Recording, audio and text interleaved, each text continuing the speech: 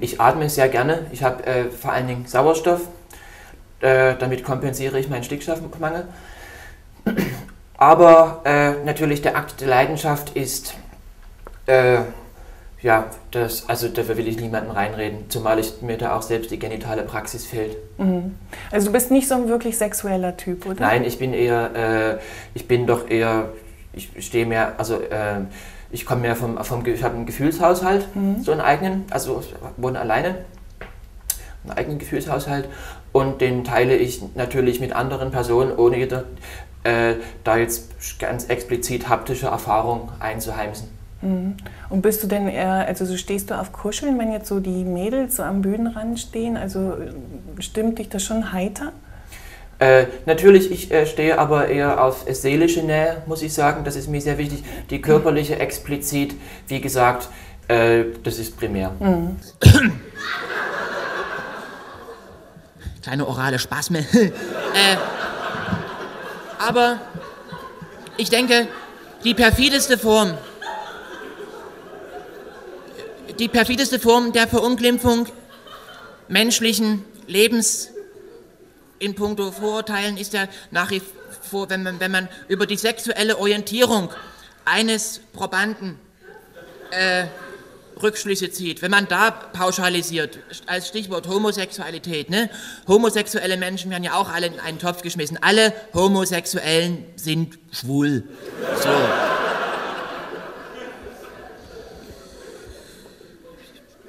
Sicher gibt es da welche. So. Aber wenn jemand homosexuell ist, darf das ja in unserer liberalen Gesellschaft kein Tabuthema, Tabu, äh, Tabuthema, Tabuthema, na nu, äh, äh, mehr sein. Für mich jedenfalls ist dies keinesfalls. Ich scheue mich nicht, auch hier im sicherlich konservativen äh, Thüringen öffentlich zu behaupten, dass ich auch selbst homosexuell motivierte, also Bandmitglieder in der Gruppe habe. So. Also auch bei uns in der Band ist jemand vom anderen Ufer. So. Ich, ich sage jetzt natürlich nicht wer. So. Obwohl ich es weiß. also, Oder ich sage nur so viel. Herr Stefan ist es nicht.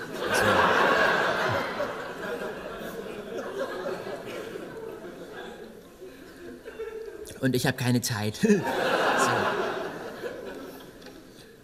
ne? Also ich sage es bewusst nicht, da es ja nicht meine Aufgabe äh, auf der Bühne sein kann, einen Dritten hier auf der Bühne zu outen. So.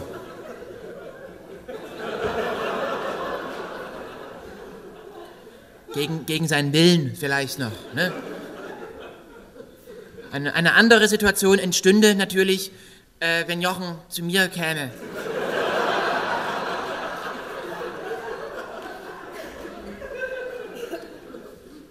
Also das war jetzt eindeutig nicht, also äh, Also, wenn er zu mir käme und sagen würde, Olaf, hör zu, ich bin homosexuell, dann würde ich sagen, es ist für mich überhaupt kein Thema, so, es ist für mich überhaupt gar kein Problem. Ne? Ich kenne noch eine Menge andere Gitarristen. so. Also, Definitiv würde ich seine Homosexualität nicht dazu benutzen, das hier auf der Bühne an die große Glocke zu hängen, das raus zu posaunen, Jochen Barkas ist schwul oder so. Seine Homosexualität ist Privatsache. So, das wird auf der Bühne nicht mal erwähnt. Du hast es ja nicht ganz leicht, weil du ja ziemlich hartgesottene Kollegen in deinem Klangkörper mit ja. dir führen musst, zwangsläufig. Meine, meine Freunde. Hm? Genau, deine Freunde. Äh, setzt sich das nicht massiv unter Druck? Da sie ja doch äh, vom hormonellen äh, Haus, vom, also vom, vom, hormonellen Standpunkt doch sicherlich andere äh, Niveaus, Niveau ja. ne, äh, haben. Ja, ich beobachte das natürlich auch, aber es setzt mich keinesfalls unter Druck. Ich, also der Olaf ruht völlig im Schubert. Würde ich da vielleicht schön. als sprachliches Bild das ist äh, schön. sagen. Du bist ja dem Osten entsprungen sozusagen. Ähm, wie bist du denn geworden? Also ich meine, bist du, bist du so eine Art Prediger auch? Nein, keinesfalls äh, bin ich äh, äh jemand, der mit dem erhobenen Zeigefinger äh, Dinge diktiert. Vielmehr versuche ich äh, den Menschen äh, etwas zu vermitteln auf doch eher eine, ich würde mal sagen, auf eine musikalisch-lyrische Art, biologisch-physikalisch geschieht das eher im, im, feinstofflichen Bereich, viel auf der transzendentalen Ebene und natürlich sehr viel über meine Musik. Die, ähm, äh, die Musik ist meine gefährlichste Waffe.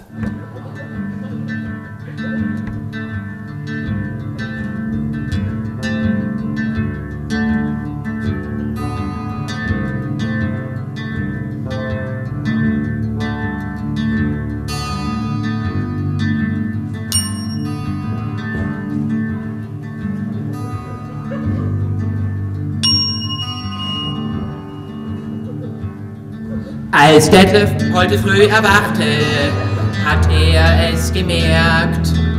Nichts war mehr wie vorher, alles schien verkehrt. Er dachte an Sabine und wollte bei ihr sein, wollte ihre Nähe spüren, ohne sie war er allein. Das Gefühl für Rocco erlosch im Morgenlicht schloss Detlef seine Augen, sah er Sabines Gesicht. Detlef ist anders, anders als wir denken. Er weiß jetzt genau, er liebt eine Frau, doch nicht nur Detlef ist anders, alle Menschen sind anders. Lasst uns zusammen anders sein, das ist besser als gleich, aber allein.